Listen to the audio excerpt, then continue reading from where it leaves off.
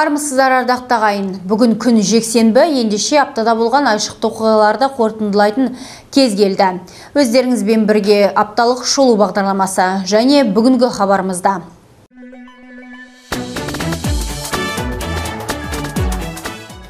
Қылышын сүйретіп қыс келе жатыр. Петропавлда қысқы уақытта жолдарды қардан тазалайтын көліктердің даярлығы пысықталды. Петропавлда жеті мыңнан астам адам жер кезегінде тұр. Қалалық әкімдікте үй салу мақсатында берілетін он сотық жерді алуға азаматтардан өтініштер қабылдануда. Өңірде қарттарды қолдау айлығы жалғасуда. Игі шара аясында облыс орталығында тұратын жалғызілікті қариялар тұрмыс жағдай нашар зейнеткерлер мен мүгедектерге көмек көрсетілуде.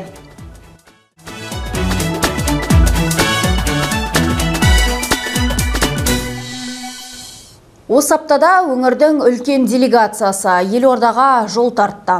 Бұл жолы жерлестеріміз Астанада, солтүстік Қазақстан облысының мәдениет күндерін өткізіп, кейін бас шаһарда өңір берекесі атты үлкен ауыл шаруашылығы жәрмеңкесін ұйымдастырды. Хан Шатыр ойын сауық орталығының аумағында облысымыздан аттанған жүзден астам ауыл шаруашылығы тауар өндірушілері астаналықтарға бар тәтті дәмдісін ұсынды жерлестеріміз алысқа 740 тоннадан астам өнімді дорбалап әкетті. Ол ет сүт макарон ұн жұмыртқа бал көкөніс балық және өзге де азық түлік түрлері. Барлығы елордаға жүзге тарта тауар түрі жеткізілді. Айта кету керек саудаға шығарылған азық түлік елорда бағаларындағы бағадан әлдеқайда арзан болды. Осылайша астаналықтар еліміздің әр өңірі ұйымдастырып жатқан жәрмеңкелердің арқасында арзан бағамен азық түлік сатып алып қысқы қорларын толықтыруда. Жәрмеңкеге алдағы хабарымызда кеңірек тоқталатын боламыз. Қыс демекші. Қылышын сүйреткен қаһарлы жыл мезгілі аяңдап келе жатыр. Күздің екінші айда бітуге таяды. Осы аптада алдағы қыстың ызғарлы демін сезінгендей болды. Жұма басында қар жауып, кейіннен сынап бағанасы түнде минус 5 градусқа дейін төмендеді. Күннің суытып, қалың қар түсетін уақытта алыс емес. Ал осындай қауырт кезеңге облыс орталығының тазалығына жауапты коммуналдық қызметтер қаншалықты әзір. Мұны тілшілеріміз біліп қайтты. Атқылағы көрінбейтін боранда жолдарда қардан аршитын техникалар міне осы қуатты көліктердің қауқарын қысы қытымыр аязда көретін боламыз. Ал биылғы жылы Петропавл қаласының көшелерін жапылақтап жауған ақ тазалаумен жеті компания айналысады екен. Интернационал және Абай көшесіне дейін қазғатар тізілген мына көліктер қыста жұмыс істеуге тас түйін дайын. Барлық техникалардың саны 169. Олар қалада 1 миллион 439 мың шаршы метр аумақты ақ тазалаумен айналысады. Қар шығару жұмыстары түнгі уақытта өтеді ал механикалық тазаландыру сағат 10-нан 5-ке дейін жүреді. Ал көктайғаққа қарсы материалдар сағат 4-тен 7-ге шейін себіледі көктайғаққа қарсы материалдар 3,5 мың куб запасы бар. Трактор бульдозер шнекар отыр осысында қауқары мықты тегеурінді техникалар жеті бірдей кәсіпорынға тиесілі қыс уақытында қар тазалауға жылда тартылатын мердігерлердің бірі су 808 серіктестігі кәсіпорынның техникалық паркінде бүгінде 31 көлік бар Сегодня уже мы начали эту работу. Бүгін біз көктайғаққа қарсы құм себу жұмыстарын бастадық. Бізге берілген аумақ ол қаланың орталық көшелері. Техникалық парк жылда жаңарып тұрады. Биыл Ресейден бірнеше көлік әкелдік. Алдағы уақытта солармен жұмыс жасайтын боламыз. Бүгін қауырт маусымда тынымсыз жұмыс істейтін техникалармен облыс әкімі Ерік Сұлтанов танысты. Компаниялардың дайындығы туралы өңір жетекшісіне қала басшысы Марат Тасмағамбетов баяндады. На сессии областного маслихата облыстық маслихаттың сессиясында қосымша 60 миллион теңге бөлінді. Жалпы керек қаражаттың сомасы 350 миллион теңге маңайында. Өткен жылы қардан тазалау жұмыстарында 339 миллион теңге жұмсалды. Биыл жыл соңына дейін 60 миллион теңге бар. Тағы қаражат бөлінеді. Өңір жетекшісі қала әкіміне техникалардың қатарын толықтыруды тапсырды. Әсіресе қар артушы көліктердің саны қыс уақытында онға жетсін деген міндет жүктеді. Бұдан соң Ерік Сұлтанов қаланы ағылпадан аршитын мердігерлердің техникаларымен танысты. Компаниялар қауырт маусымға деп 10 су жаңа көлік сатып алыпты. Солардың бірі ресейлік ДМ 124 қар артқышы. Бұның көмегімен жолдарды ағылпадан тазалап, оны 20 метр биіктікке дейін лақтыра алады. Осы ретте аймақ басшысы дәл осындай техниканы өзімізде де сынақ ретінде ретінде әзірлеп көруді тапсырды. Вот эту железяку мы сами можем сделать. темір бұйымдарын өзімізде де жасай аламыз. Еш қиындығы жоқ. Өндірушілерден көшірмесін алып өзіміздің зауыттарда жасап көру қажет. Марат иманбайұлы бұл туралы кәсіпорын басшыларының біреуіне айтыңыз. негізі қаланы қардан аршу жұмыстары әдетте қазаннан басталып сәуірге жалғасады. Былтырғы қауырт маусымда қала аумағынан 535 мың текше метр ақ ұлпа шығарылыпты. Осылайша, алдағы қысқа қала тазалығына жауапты мердігерлер де, коммуналдық қызмет көрсетуші мекемелер де дайын. Қарға сараң болмаған өткен қыс мезгілінде коммуналды қызметтердің бел жазуға мұршасы болмағандығы белгілі. Олармен бірге өңіріміздің құтқарушылары да күн түн демей қар құрсауында қалғандарды құтқару жұмыстарына аянбай араласып, өз біліктіліктерін дәлелдеп бақты. Айтпақшы, осы аптада осынау маңызды қызметті арқалаған маман иелері кәсіби мерекелерін тойлады. 19 қазан елімізде құтқарушылар күні ретінде аталып өтіледі. Бұл күні оларды облыс әкімі Ерік Сұлтанов құттықтап, мінсіз қызметімен көзге түскен бір қатар қызметкерлерге алғыс хаттар табыс етті. Тағы бұл күні кей құтқарушылардың шен өсіп, бір қатары ведомстволық наградаларға ие болды. Өңіріміздің құтқарушыларын кәсіби мерекелермен құттықтауға келген облыс әкімі Ерік Сұлтанов ең алдымен ұйымдастырылған техникалар мен құрал жабдықтардың көрмесін байқады. Мұнда заманауи қондырғылар да жайғастырылған. Айталық мына пилотсыз ұшу аппараты биыл ғана алыныпты. Оның көмегімен апат болған аймақтарды әуеден еркін бақылауға болады. Тағы құтқарушылардың әр күндік өмірінен сыр шертетін заттар мен киім-кешектер де осында қойылыпты. Ал залда су тасқыны, өрт сынды түрлі төтенше жағдайлар кезінде өз өмірін қатерге тіге отыра өзгенің жанын аман алып қалуға тырысатын жандар отыр. Күн түн демей олар жан шүбірекке түйіп берген сертке адал қызмет етуге тырысады. Сондықтан осынау жауапты да қауіпті мамандық иелерін кәсіби мерекелермен құттықтаған өңір жетекшісі олардың әр күндік жұмысының маңызды екендігіне тоқталды. күн сайын кез келген қауіпқа даяр тұру үлкен мәртебеге лайықты қызмет сіздердің ерліктеріңіз бен ерен еңбектеріңіздің біліктілігіңіздің арқасында жүздеген адам өмірі мен мүлкі сақталуда кәсіби мереке күні сіздерге зор денсаулық жұмыстарыңызға табыс отбасыларыңызға амандық береке бірлік тілеймін.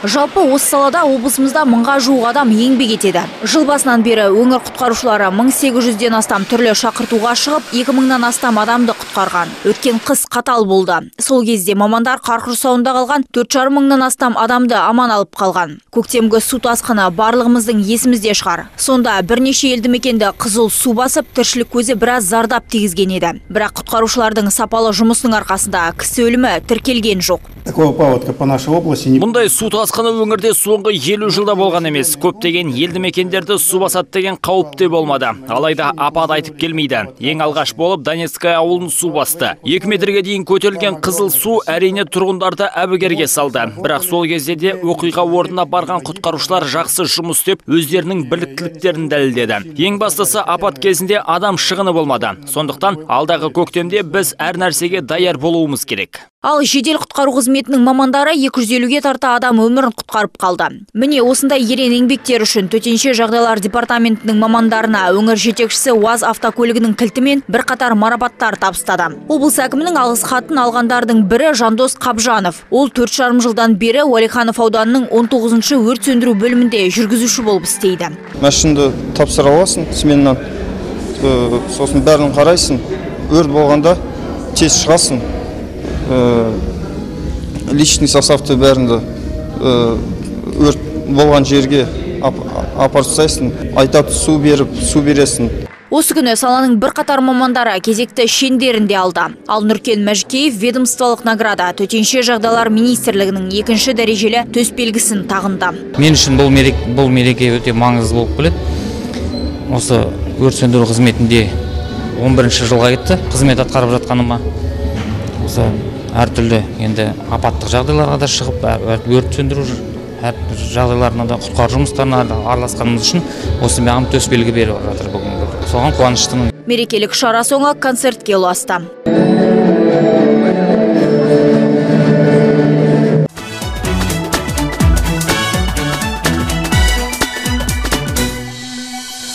Аты бар да заты жоқ. Нақ осындай сөздерді біздер Петропавл халықаралық әуежайына қатысты айтып келген болатынбыз.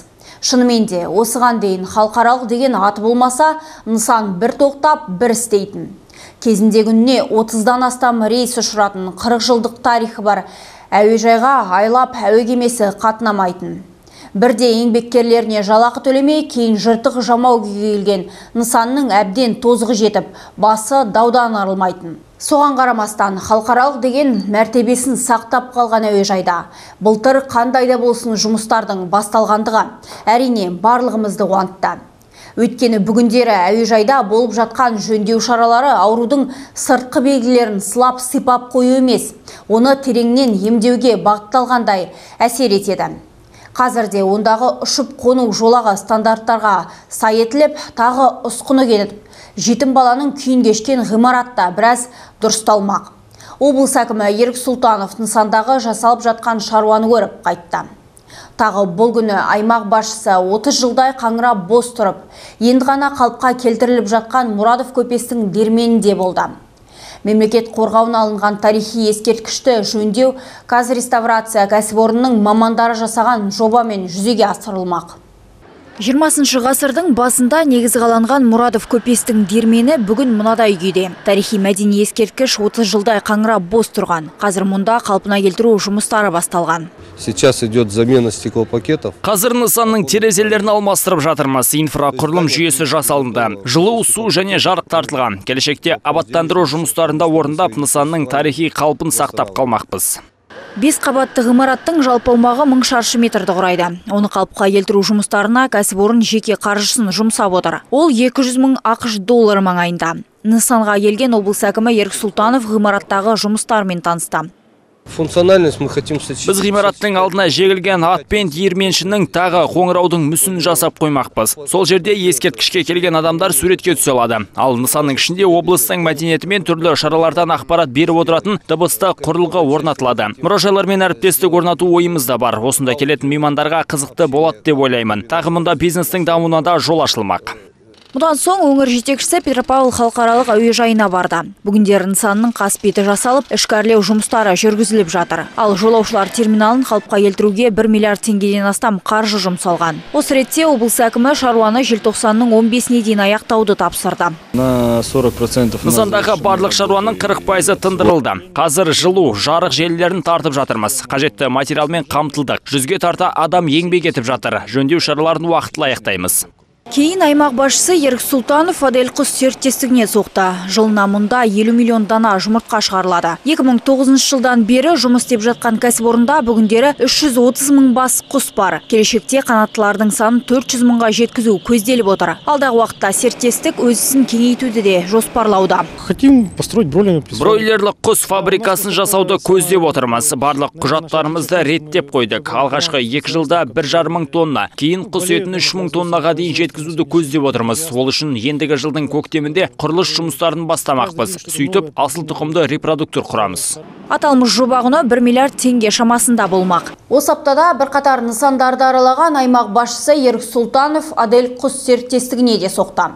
Мұнда жылына 50 миллион дана жұмыртқа шығарылады. 2009 жылдан бері жұмыс істеп жатқан кәсіпорында бүгіндері 330 мың бас құс бар. Келешекте қанаттылардың санын 400 мыңға жеткізу көзделіп отыр. Алдағы уақытта кәсіпорын өз ісін кеңейтуді жоспарлауда. Серіктестік бройлерлі құс фабрикасын жасауды көздеп отыр. Сөйтіп алғашқы 2 жылда 1,5 мың тоннаға, кейін құс етін 3 мың тоннаға дейін жеткізуді көздеген. Ол үшін ендігі жылдың көктемінде кәсіпорын ауқымды құрылыс жұмыстарын бастап, тағы асыл тұқымды репродуктор құрмақ. Аталмыш жоба құны 1 миллиард теңге шамасында болмақ. Тағы осы аптада облыс әкімі Ерік Сұлтанов Мағжан Жұмабаев ауданына қарасты бірнеше ауылдық округте болды. Елді мекендердің көктемгі су тасқынына даярлықтарын байқады. Кейін жұмыспен қамтудың жол картасы бағдарламасы аясында қалыпқа келтіріліп жатқан әлеуметтік маңызы бар нысандарды және кәсіпкерлердің жеке қаражаты есебіне салынып жатқан спорттық нысандарды көрді. Ауданның бүгінгі тыныс тіршілігін тілшіміз Берік Қасен айтсын. Биыл көктемде болған су тасқыны Мағжан Жұмабаев ауданы тұрғындарында біраз әуре сарсаңға салды. Қызыл су үйлерге жетіп, 85 адам қауіпсіз жерге шығарылды. Соның жартысынан астамына 2,5 миллион теңгенің материалдық шығыны төленді. Келер жылы ондай жағдай қайталанбасы үшін осы бастан су басуы мүмкін елді мекендерде арықтар қазылып, су ағарлар орнатылуда. Көктемде Булаева қаласына мына Қамысты көлденде қауіп бар. Основная 60% Көктемде Булаева қаласында жиналған судың 60 пайызы осы көлге қарай ағады. Содан көл арнасынан асады. Қыс мезгілінде мұз кескіш құрылғысымен осы көлдегі мұздың бәрін кесіп, КАМАЗбен алысқа апарып тастаймыз. Биыл Мағжан Жұмабаев ауданына жылжымалы сорғы станциясы, КАМАЗ, автогрейдер мен бір батыр маркалы трактор алынды. Соңғылары қарды аршып, жолдарға инертті материалдарды себу үшін қажет. Көктемде ауыл ішілік жолдармен де жүру қиындайды. Осы күні өңір жетекшісіне жергілікті тұрғындар Болаева қаласының көшелеріне қиыршық тас төселіп, Сарытомарға апарар жол күрделі жөндеуден өтсе деген өтініштерін айтты. Ерік Сұлтанов тапсырма биыл болмаса, келесі жылы міндетті түрде орындалады деді. Бүгінде Болаева қаласындағы аудандық орталық аурухананың негізгі корпусына күрделі жөндеу жүргізіліп жатыр. Оған қажетті 79 миллион теңге жұмыспен қамтудың жол картасы бағдарламасы аясында бөлінген. Алдағы уақытта корпустың шатыры, есік терезелері мен жылу және кәріздік жүйелері толығымен жаңартылмақ. Нысан көне болғандықтан құрылыс жұмыстары барысында бір қабырғада жарық пайда болып, аздаған қиындықтар туындапты.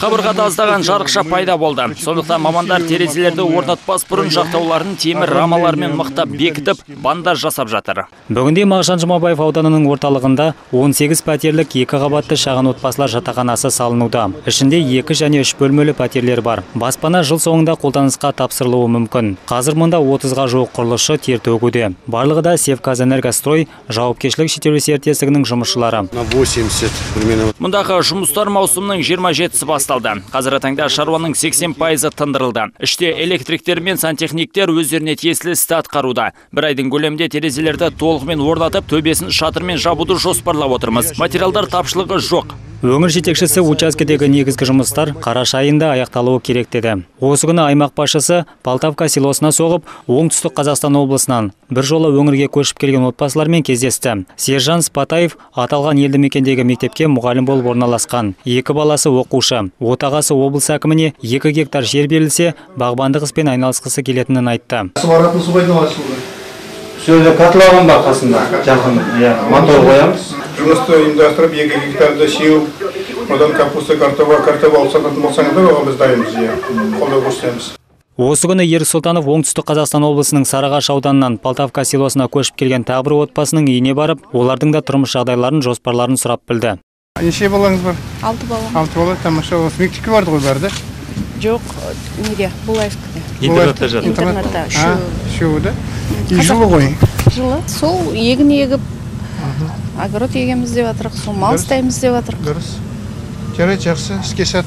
Кейін Ерік Сұлтанов көршілес Писаревка селосына барып, ондағы мектептің ұжымымен және жергілікті кәсіпкерлермен кездесті. Биыл мұндағы орта мектепке үш бірдей бу қазандығы орнатылады. Онда көмірдің орнына зығыр сабаны жағылады. Қондырғы қарашаның біріне дейін іске қосылады. Облыс әкімі Ерік Сұлтанов мектеп терезелерінің тозғанын көріп, аудан әкімі Асқар Бегмановқа нысанға пластикалық терезелерді орнату қажет деді. Ал мынау Бастомар ауылы. Елді мекенде 554 адам тұрады. Жылдан жылға ауыл көркейіп келеді. Бүгінде үйлердің 90 пайызына құбырлар тартылып, тұрғындарға таза ауыз су үздіксіз жеткізілуде. Су тасудан қолы босаған балалар бос уақыттары мына ойын алаңдарында қызықты өткізетін болды. Бұл жерге ересектерде келіп, көше тренажерларында жаттыға алады. Қасында тағы заманауи хоккей корты салынуда. Алдағы уақытта Бастомар ауылында осы спорт түріне қабілеті бар балалардан хоккей командасы жасақталмақшы. Спорттық нысандардың барлығына жергілікті кәсіпкер Виталий Калиниченко шамамен 6 миллион теңге жұмсапты. Біртіндеп елді мекен көшелері де жарықтандырылуда. Облыс әкімі Бастомар ауылы іскер азаматтардың арқасында көркейіп жатқанын атап өтті. Ал адам саны 2 мыңнан асатын Возвышенка селосында жағдай мүлдем басқаша. Мұндағы халық бірінші кезекте таза ауыз су және жолдың мәселесін қозғайды. Тұрғындармен кездескен аймақ басшысы аталған проблемалар алдағы жылдары шешілетіндігін айтты. Ерік Сұлтанов осы елді мекеннің кәсіпкерлерін ауылды абаттандыру жұмыстарына атсалысуға шақырды. Кейін Возвышенка орта мектебіне барып, білім ошағында атқарылып жатқан жұмыстарды көрді.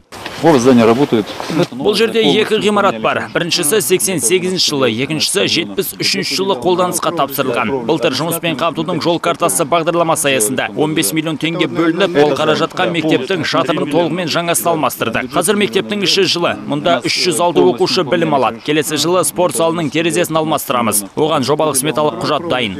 Бұдан бөлек 2017 жылы ел қазынасы есебінен Возвышенка селосындағы мәдениет үйінің шатыры жөнделетін болды.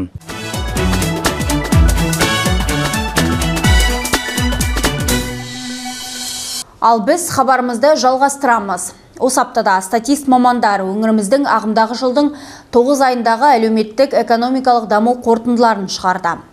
Облысымыз республика көлемінде тұтыну бағаларының индексі бойынша екінші, құрылыс жұмыстары жөнінен төртінші, ал ауыл шаруашылығы өнімі бойынша бесінші орында тұр. Бүгінде теріскейде өнеркәсіп қарқынды дамып келеді. 9 айдың қорытындысы бойынша бұл саладағы өсім 100,5 пайызды құраған. Осы уақытқа дейін 131,5 миллиард теңгенің өнімі өндіріліпті. Нақтырақ айтсақ, ұн 36,9 пайыз, сүт өнімдері 7,2, ал мал азығы 3,7 пайызға артық шығарылған. Өңіріміздегі басым салалардың бірі ол ауыл шаруашылығы. Бұнда 9 айдың ішінде 289,6 миллиард теңгенің өнімі өндіріліп, өсім қарқыны 106 пайызды құрапты. Осының нәтижесінде облысымыз республика бойынша 5 орынға жайғасты.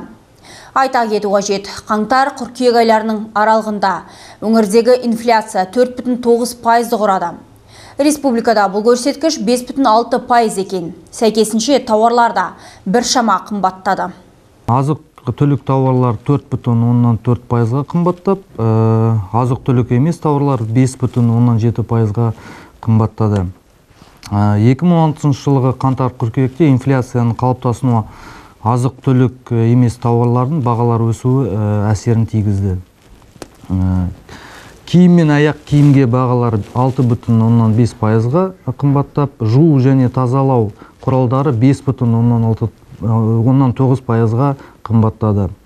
Және фармацевтикалық өнімдер 13,2 пайызға қымбаттады. Сұйытылған газ 16,1 пайызға қымбаттады. Бензин 1,1 пайызға.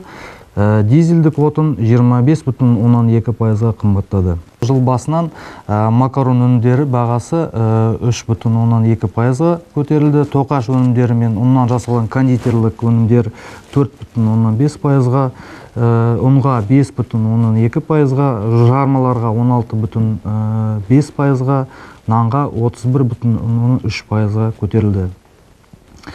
Жылқы еті қой еті 4,6 пайызға шошқа еті 6,1 пайызға сиыр еті 6,4 пайызға қымбаттады. Сүт өнімдері 1,2 пайызға қымбаттап балық және теңіз өнімдері 1,5 пайызға май мен тон майлар 4,5 пайызға қымбаттады.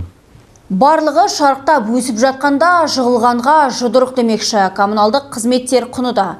Айталық газ, су, жылу, энергия бағасы да артты. Статист мамандардың біздерді айтып қуантқан жаңалығы да болды. Ол жұмыртқа құнының 5,7 пайызға және жемістер мен көкөністер бағасының 5,5 пайызға төмендегені. Әйтеуір брифингке барып әріптестеріміз баға түсті деп осы екі көрсеткішті ғана атай алды. Ал енді осының барлығына тұрғындардың жалақысы жете екен. Сол жайында айтып көрелік. Облыста жұмысшылардың жалақысы өсіп жатыр. Өткен жылдың сәйкес мерзіммен салыстырғанда бұл көрсеткіш 14,8 пайызға артқан. Бір қызметкердің орташа айлық жалақысы ағымдағы жылдың 9 айының қорытындысы бойынша 2015 жылы сәйкес кезеңмен салыстырғанда 14,8 пайызға өсті немесе 94.362 теңге құрады. Оның ішінде ірі және орта кәсіпорындарында 12,5 пайызға өсіп сәйкесінше 97.932 теңге құрады. Ауыл және орман балық шаруашылығы қызметкерлерінің жалақысы 4,7 пайызға өсіп өнеркәсіпте 4,9 пайызға құрылыста 4,4 пайызға және көлік және қоймалауда 25 пайызға өсті. Өнеркәсіпте жалақы 92.217 теңге құрады құрылыста 88.319 теңге саудада 78 мың 512 теңге қарыз және сақтандыру қызметіне 167 мың 542 теңге жалақысы 9 айдың қорытындысы бойынша сақталды. Сонымен, өңір бойынша жан басына шаққандағы күнкөрістің ең төменгі деңгейі қыркүйек айында 22.399 теңгені құрады. Жыл басынан бері ол 22,3 пайызға өсіпті. Тұрғындардың көбі өз табысының 13.439 теңгесін азық түлік тауарларына алуға жұмсайды екен. Статист мамандардың айтуынша, жыл басталғалы құрылыста 38,7 миллиард теңгенің жұмысы орындалған. Тұрғын үй құрылысына келер болсақ, мұнда 9,5 миллиард теңге игеріліпті. Бұл өткен жылдың тиісті мерзімімен салыстырғанда екі есе жоғары. Баспана құрылысы демекші. Халықты тұрғын үймен қамтамасыз ету бүгіндері басты назарда. Қазір 30-да ордабұзар азаматтардан бөлек кей пайғамбар жасын еңсерген қазақстандықтардың өзі жалдамалы пәтерлерді жағалап жүр. Бұл әсіресе қала халқының бас ауруы. Урбанизация үрдісіне ілінгенде ақ шаһар тұрғындары шектеулі шаршы метрлерге тәуелді бола бастады. Әрине, елімізде осы қиын да күрделі мәселені шешу үшін қолға алған маңызды шаралар баршылық. Бүгіндері бой көтеріп жатқан көп қабатты тұрғын үйлерден бөлек петропавлдықтарға жер телімдері берілуде. Сондай ақ бүгіндері шаһардағы апаттық жағдайдағы және ескірген үйлерді бұзу бойынша бағдарлама жобасы жасалды арнайы комиссия құрылып олар апаттық жағдайдағы үйлерді қарамақ. Қазірдің өзінде осындай бірнеше көп қабатты баспана анықталып отыр.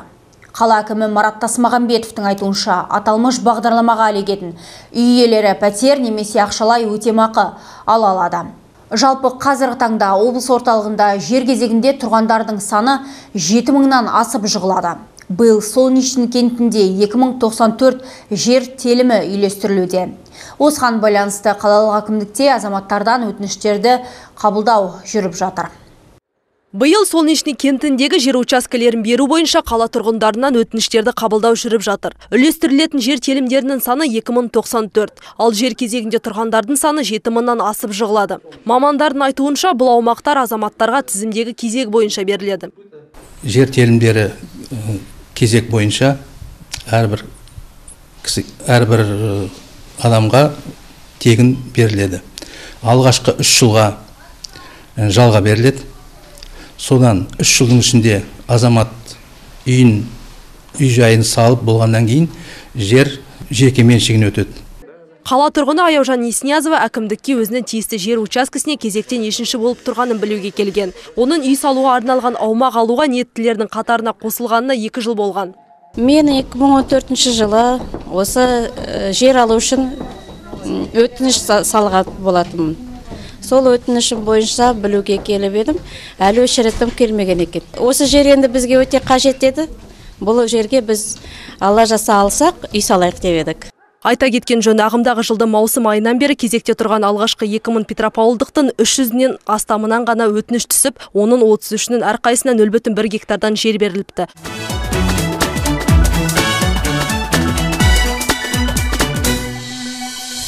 Қашанда төрімізден қарты кетпеген халықпыз.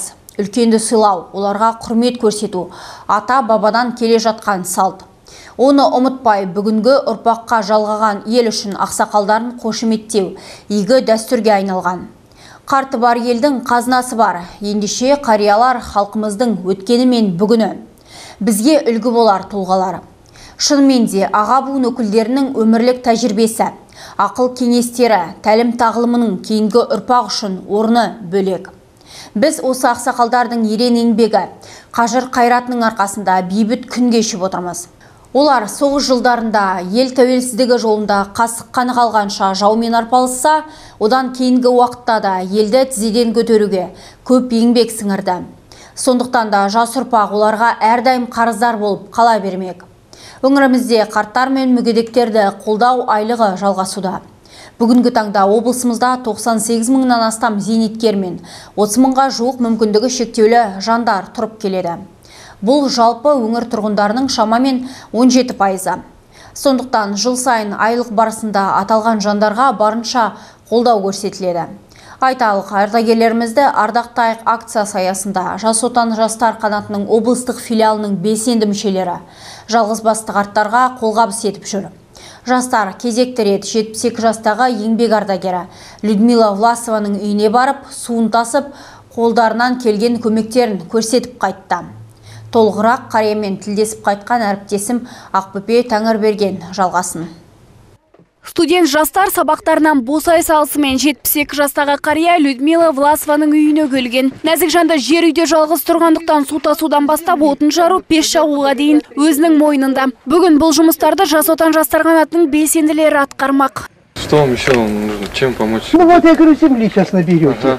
Людмила Михайловна жаз бойы бау бақшаны күтіп баптайды, қысқа дайындалады. Көктемде көкөніс егетін топырақты қазір дайындап қояды. Бұл жолы көмектесуге келген жігіттер қарасынан топырақты қазып арнайы жәшікке салып берді. Қария оның арасына жазда ауласының сәнін келтіретін гүл тұқымын да сеуіп қойды.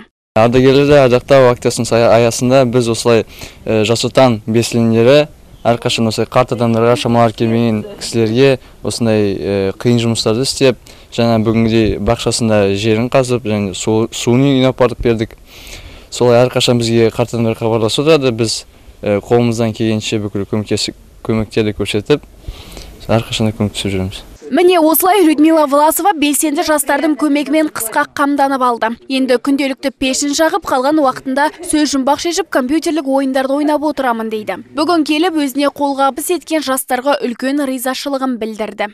Наготовила столько ведер, ребята. Балалардың келетінін біліп, барлық шелектерімді дайындап қойдым. Шай, тамағыма, кір жууыма су керек. Ит пен мысық, тауық ұстаймын. Ұлдарым Ресейде, қызым осында тұрады. Бірақ үйі алысырақ. Арасында келіп ол да көмектесіп кетеді. Жаз бойы жиған тергендерімді соларға беремін. Бүгін келіп көмектесіп жатқан ұлдарға көп рахмет. Үйімнің алдын қыста жиі жауған қар басып қалады. Жыл өткен сайын оны тазалауға шамам келе бермейтін болды деп қалды жей бір сөзінде. Бұл ретте белсенді жастар қыста да келіп, бұл үйдің ауласын тазалап береміз деп уәделерін беріп кетті.